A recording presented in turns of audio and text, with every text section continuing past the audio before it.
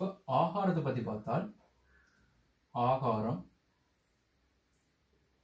ஆகாரம்ன்றது என்னென்றால் அதிக தர அதிக தரவைகள் வந்த தரவு. ரைட் எந்த ஒரு தரவு எந்த ஒரு வகையான தரவுகளையும் அதிக தரவைகள் வந்த தரவு தான் ஆகாரம். ஒரு கூட்டமாக்க மூன்று வகையான தரவுகள் சொல்லி கொடுத்தேன். மூன்று வகையான தரவுகளுக்கு தான் ஆராய்வுகள் நடை செய்வோம்னு சொன்னேன். முதலாவது கூட்டமாக்கப்படாத தரவு தொகுதி. கூட்டமாக்கப்படாத தரவு தொகுதியின் நேரம் ஒரு நேர்கோட்டில் எழுத ஏழு வரிசையில் எழுதப்பட்ட தரவு தொகுதிகள் ரைட் ஒரு நேர்கோட்டில் ஏறு வரிசையில் எழுதப்பட்ட தரவு தொகுதிகள். உதாரணத்துக்கு சொல்லுவோம். மூணு அஞ்சு அஞ்சு எட்டு எட்டு எட்டு ரெ- பதினொன்று பன்னெண்டு பதினஞ்சுன்னு சொல்லுவோம். இது ஒரு கூட்டமாக்கப்படாத தரவு தொகுதி. இதில் ஆகாரம்ன்றது யார் அதிக தடவை வந்திருக்கிறாங்களோ அவங்க தான் ஆகாரம். ஆகவே இந்த எட்டு தான் ஆகாரம். ரைட் கூட்டமாக்கப்படாத தரவு தொகுதியில் நேரடியாக பார்த்தோன்னு சொல்லலாம். இவர் தான் ஆகாரம் இவர் தான் இடையம் சாரி இவர் தான் ஆகாரம் நீங்க நேரடியா பார்த்தோன்னு சொல்லணும். ரைட் இதுவே. ரெண்டாவது வகையான தரவு.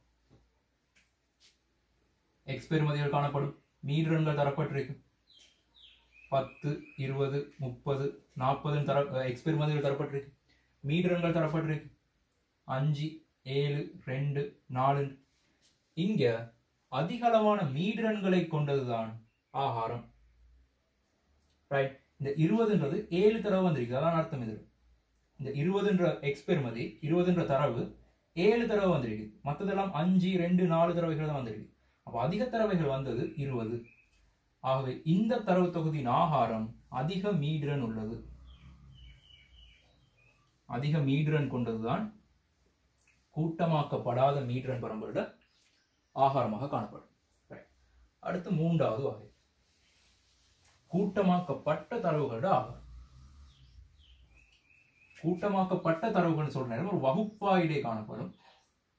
ரைட் ஒரு வகுப்பாயிடை காணப்படும். பூஜ்ஜியத்திலிருந்து பத்து பத்துல இருந்து இருபது இருபதுலேருந்து முப்பது முப்பதுலேருந்து நாற்பது நாற்பதுலேருந்து ஐம்பது. இந்த மாதிரி தரவு தொகுதிகள் காணப்படும். அதே நேரம் மீடரங்கள் தரப்பட்டிருக்கு. ரைட் மீடரங்கள் தரப்பட்டிருக்கும் ஐந்து ஏழு ரெண்டு நாலு மூன்றுன்னு சொல்லும். இந்த மாதிரி மீட்டரங்கள் தரப்பட்டிருக்கு இப்பயுமே எனக்கு சொல்லலாம் அதிக தடவை வந்திருக்கிறது யார் என்றால் பத்துல இருந்து இருபதுக்கு இடையிலான புள்ளிகள். பத்துல இருந்து இருபதுக்கு இடையிலான புள்ளிகள். ஆனால் ஆகாரமா இருக்கட்டும் இடையமா இருக்கட்டும் இடையா இருக்கட்டும் ஒரு வீச்சு கொடுக்கல ஒரு காலமும் கட்டாயம் ஒரு எண் பெருமானம் கொடுக்கணும். அப்போ பத்துல இருந்து இருபதுக்குள்ளே இந்த ஆகாரம் காணப்படும் எனக்கு சொல்லலாம் பத்துல இருந்து இருபதுக்குள்ள யார்? யார் அவரோட ஆகாரம்? அதை சரியா எண் பெருமானத்தை கொடுக்கணும். ரைட் அப்ப இதுக்கு நாங்கள் ரெண்டு முறைகள் பயன்படுத்துவோம். ஒன்று சமன்பாட்டு முறை இன்னொரு இலைவரை முறை. ரெண்டுமே ஒரே முறை தான் ஒரே முறை தான் ஒரு சமன்பாட்டு முறை இலைவரையத்திலிருந்து நிறுவப்பட்ட ஒரு முறை. ரைட் முதல்ல இலைவரையம் அனுபவம்? இலைவரையம்ன்றது என்னென்றால் நிரல் வரைவுகள் படிச்சிருக்கோம். நிரல் வரைவு மாதிரி எதனால் ஆனால் இலைவரையம் கொஞ்சம் வித்தியாசம்.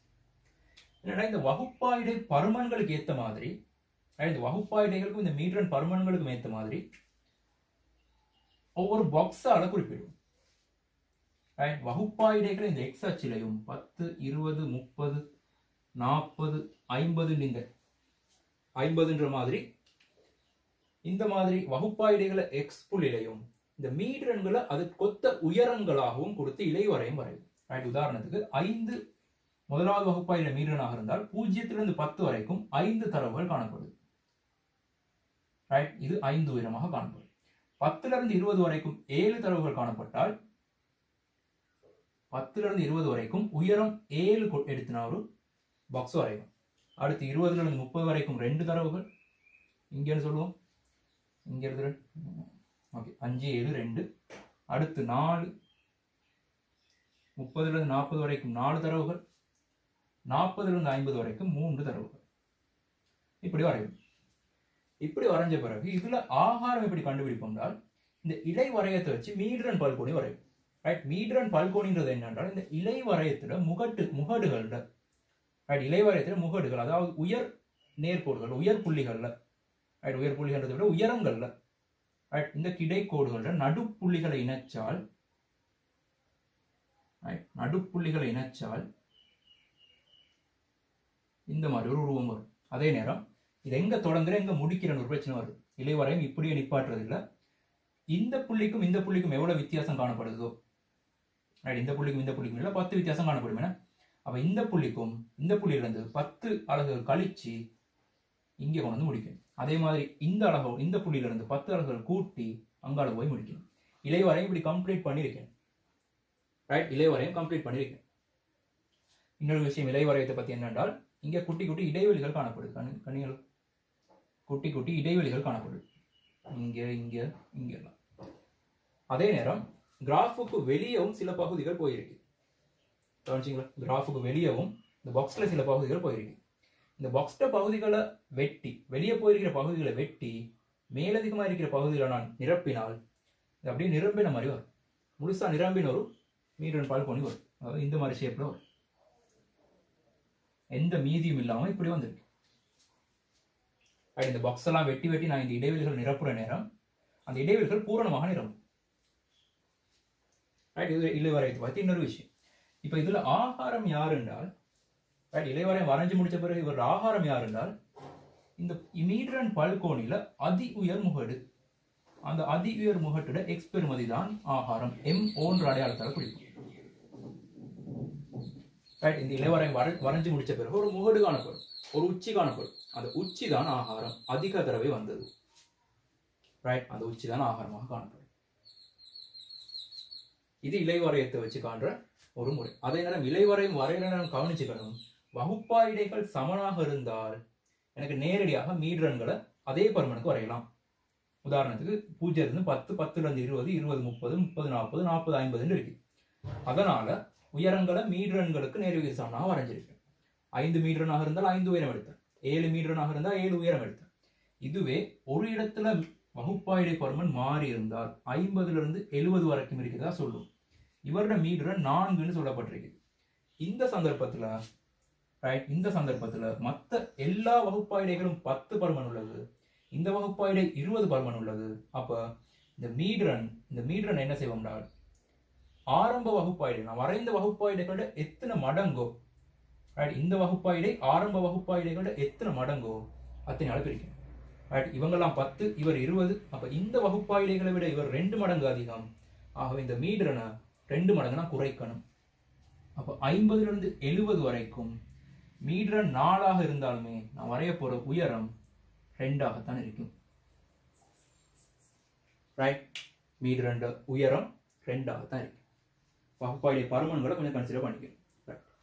இது இலைவரையத்தை வச்சு ஆகாரம் பண்ற ஒரு முறை. இப்ப ஒவ்வொரு சந்தர்ப்பத்திலையும் இந்த மாதிரி இலைவரையங்கள் வரைஞ்சிட்டு இருக்கிறது சாத்தியம் இல்லை. ரைட் இலைவரையங்கள் வரைஞ்சிட்டு இருக்கிறது சாத்தியம் இல்லை. அதுக்கு தான் ஒரு சமன்பாட்டு முறை பயன்படுத்துறாங்க என்னென்றால் இந்த உதாரணத்தை வச்சு வழங்கப்படுது இப்ப எனக்கு தெரியும் ஆகார வகுப்புன்றது இதை விட்டுரும். ரைட் ஆகார வகுப்பு எங்க காணப்படுது என்றால் இந்த பத்துல இருந்து இருபதுக்குள்ள காணப்படுது. ரைட் இது இப்போதைக்கு நான் இதை மாத்தி வைக்கிறேன் இங்க ரெண்டாகவும் இங்க ஏழாகவும் போட்டு. பிரச்சனை இல்லை பிழை இல்லை. முதலாவது விளங்கப்படுத்துறதுனால கொஞ்சம் லேசான கணக்காக விளங்கப்படுது.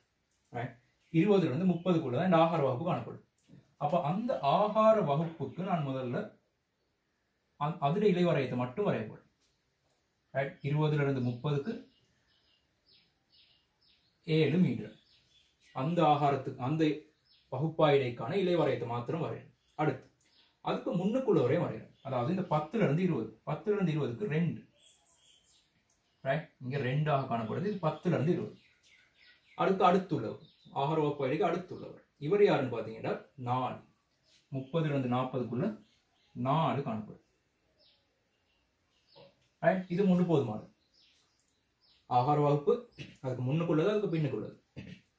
அது மூன்றையும் வரைஞ்ச பிறகு இப்ப இந்த ஆகாரம் எங்க காணப்படும்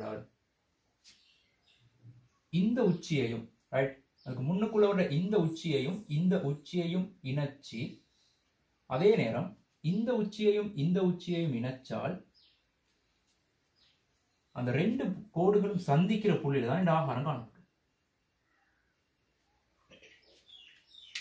இதுக்கு முன்னுக்குள்ள வர இந்த உச்சி அவரையும் அவருக்கு எதிராக உள்ள உச்சியையும் அடுத்துள்ளவருடைய இந்த உச்சி அவருக்கு எதிராக உள்ள உச்சியையும் இணைக்கிற நேரம் இணை கோடுகள் ரெண்டும் சந்திக்கிற புள்ளி தான் இந்த ஆகாரம் காணும் இதுதான் இந்த ஆகாரமா இருக்கு. இப்போ அந்த புள்ளியை கண்டுபிடிக்கிறது எப்படி? ரைட் அந்த புள்ளி எப்படி கண்டுபிடிக்கலாம்? ரைட் அதனால் எப்படி செய்ய போறோம்னால் இந்த உயரத்தை எனக்கு சொல்லலாம் அஞ்சுன்னு சொல்லலாம். ரைட் இங்கிருந்து இந்த உயரம். ரைட் அதே நேரம். இங்கிருந்து இதுக்கான உயரம் இது நாலாக இருந்தால் இந்த உயரம் மூன்றாக இருக்கு. ரைட் இந்த உயரம் மூன்றாக இருக்கு இப்போ பாருங்க இந்த ஓ ஏ பின்ற முக்கோணமும் ஓ முக்கோணமும் ஒத்திசைவான முக்கோணங்களா இல்லை இந்த முக் இந்த கோணமும் இந்த கோணமும் சமன் இந்த கோணமும் இந்த கோணமும் சமன். ரைட் இதெல்லாம் நேர்கோடுகளாக வந்திருக்கிறோம் சமாந்தர கோடுகள். அப்போ இந்த கோணமும் இந்த கோணமும் சமன். அதே நேரம் இந்த கோணமும் இந்த கோணமும் சமம் ஆகவே இது ஒத்திசைவான முக்கோணிகள் ஒத்திசைவான முக்கோணிகள் வந்தால் பக்கங்களோட விகிதங்கள் சமம். அதே நேரம் உயரங்களும் விகித சமனாக இருக்கு. உயரங்களும் விகித சமனாக இருக்கு. இப்போ அதை வச்சு நான் ஒரு நிறுவல் போட்டால் எப்படி வரும்னால் முகடு காண்றது அதாவது ஆகாரம் காண்றதுக்கு நான் சமன்பாடு எழுதினால் இந்த முக்கோணி ஓஏபியில ரைட் முக்கோணி ஓஏபியில ஏபியின் கீழ் இந்த புள்ளி நான் எம்னு சொல்றேன் இதை நான் என்னன்னு சொல்றேன். ரைட் ஏபியின் கீழ் எம் ஓன்றது ரைட் சிடியின் கீழ். அங்கால் உள்ள முக்கோணத்துல சிடியின் கீழ் ஓ என்னுக்கு சமனாக இருக்கு. ரைட் ஏபியின் கீழ் இந்த உயரம் சிடியின் கீழ் இந்த உயரம் ஓ என் என்ற உயரம். ஒத்திசைவான முக்கோணிகள் என்ற பக்கங்களோட விகிதங்கள் சமனாக இருக்கு. அப்ப ஏபின்றது அஞ்சு எம்ஓன்றது எம்ஓ மைனஸ் இருபது இந்த நீளம். ரைட் அது சமன். சிடின்றது மூன்று ஓ என்னன்றது முப்பது மைனஸ் என்ன முப்பது மைனஸ் எம் ஒரு தெரியா எம்ஓ மாத்திரம். ரைட் எம்ஓ மாத்திரம். ஒரு சமன்பாடு. எனக்கு தீர்க்கலாம். நூற்றி ஐம்பது சாய ஐந்து எம்ஓ சமன். மூன்று எம்ஓ சாய அறுபது. எட்டு எம்ஓ சமன். தொண்ணூறு எம்ஓ சமன். நாற்பத்தி ஐந்தின் கீழ் நாலு. பதினொன்று தசம். விளக்கிதானா? சாரி இருநூத்தி பத்து இருநூத்தி பத்தின் கீழ் நாலு இருநூத்தி பத்தின் கீழ் எட்டுன்ற நேரம். ரெண்டு ரைட் ஐந்து ஐம்பதுல ஆறு தசம்.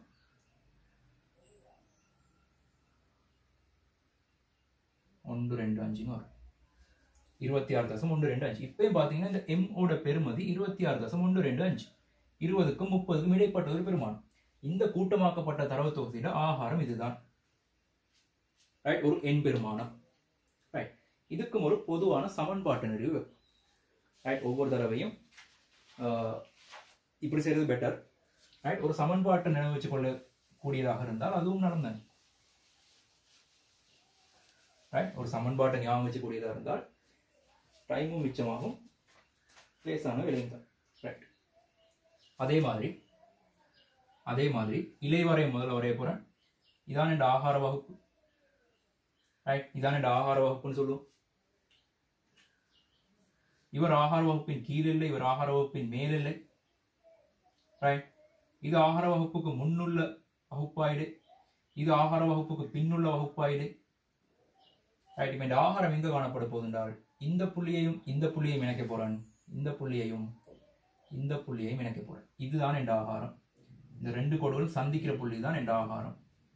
ஆகாரத்துக்கு பொதுவான ஒரு தொடர்பு நிறுவ ரைட் சொல்லுவோம். இந்த வித்தியாசம் இந்த உயரத்துக்கும் இந்த உயரத்துக்குமான வித்தியாசம் டேட்டா ஒன் இந்த உயரத்துக்கும் இந்த உயரத்துக்குமான வித்தியாசம் டேட்டா டூன்னு சொல்லுவோம். ரைட் டேட்டா ஒன் டேட்டா டூன்னு சொல்லுவோம். இப்போ வளமையான மாதிரி ஒத்திசைவான முக்கோணிகள் போட்டால் இந்த டெல்டா ஒன்னின் கீழ் இது இந்த உயரம் இது இந்த உயரம். ரைட் அப்போ டெல்டா ஒன்னின் கீழ் M O minus L one delta ஒன்னின் கீழ் M O minus L one சமன் டெல்டா டூவின் கீழ் இந்த உயரத்தின் கீழ் இந்த நீளம் L two minus M right அதே நேரம் ஞாபகம் வச்சுக்கணும். எல் டூ மைனஸ் எல் ஒன்றது வகுப்பாயிடே பாருங்க ரைட் ஆகவே டெல்டா எல் டூ சாய டெல்டா ஒன் எல் டூ சமன் சாய delta one M ஓன்றது two M O minus delta two L one right ஆகவே சொல்லலாம் எப்படி என்றால் ஒரு சின்ன வேலை செய்கிறேன் என்னென்றால் எல் டூ மைனஸ் எல் ஒன்னுன்றது சி ஆகவே எல் டூக்கு பதிலாக சி பிளஸ் எல் ஒன் போட்டு போடலாம் சி பிளஸ் எல் ஒன் போட்டு ஆகவே எல் டூ பதிலாக இதை பிரதியிட்டால் டெல்டா ஒன் தர சி சக எல் ஒன் கட்டாயம் இல்லை ஒரு நியம வடிவத்துக்கு கொண்டு வரணுன்றதுக்காக பிரதியிட்டு. Right delta one M O சமன். Delta two M O delta two L one right அப்போ எம்ஓலாம் ஒரு பக்கமாக்கினால் டெல்டா ஒன் சக டெல்டா டூ எம்ஓ சமன். ரைட் என்னோட டெல்டா ஒன் சி சக. Delta one plus delta two L one இப்போ டெல்டா ஒன் ப்ளஸ் டெல்டா டூவோட ரெண்டு பக்கம் பிரித்தால் எம்ஓ சமன் எல் ஒன் ப்ளஸ் டெல்டா இன் கீழ் delta one plus delta two C சியாக இருக்கு. ரைட் இந்த சமன்பாடை ஞாபகம் வச்சுக்கணும் நான் சொல்கிறேன் உங்களுக்கு இந்த ஆகாரம் காண்ற முறை இலைவாரியத்தை வச்சு ஆகார வகுப்பு வரைஞ்சி அதுக்கு முன்னுக்குள்ளது பின்னுக்குள்ளது வரைஞ்சி இந்த கோடுகள் இணைச்சால் அது இணைக்கிற புள்ளி சந்திக்க இணைக்கிற கோடுகள் சந்திக்கிற புள்ளியில ஆகாரம் காணப்படும். தெரிஞ்சால் போதும். எந்த வகையான கணக்குக்கும் ஆகாரம் கண்டுகொள்ளலாம். ரைட் கூட்டமாக்கப்பட்ட கூட்டமாக்கப்பட்ட தரவுகள் எது தந்தாலும் இந்த முறையை வச்சு உங்களுக்கு ஆகாரம் கண்டுகொள்ளலாம். அது உங்களுக்கு கஷ்டமா இருந்தால் இந்த சமன்பாடு ஞாபகம் வச்சுக்கலாம் அப்படின்னு சமன்பாடு ஞாபகம் வச்சு நேரடியாக பிரதிட்டு காணுறோம் இங்கே எல் ஒன்றது ஆகார வகுப்பின் கீழெல்லை ரைட் டெல்டா ஒன்ன்றது ஆகார வ- வகுப்பு மீடியனுக்கும் அதுக்கு முன்னே வகுப்பு மீட்டருக்கு மூடி மீட்டரனுக்கும் இடையிலான வித்தியாசம். டெல்டா டூன்றது ஆகார வகுப்பு மீடியனுக்கும் அதற்கு பின்னுள்ள வகுப்பு மீடியனுக்கும் இடையிலான வித்தியாசம். சின்றது வகுப்பாடின்னு பாருங்க Right? இதை பாடமாக்கிறதை விட இந்த முறை வரவேற்கத்தக்கது. மெத்தட் எப்படின்னு ஞாபகம் வச்சுக்கிறேன் ரைட்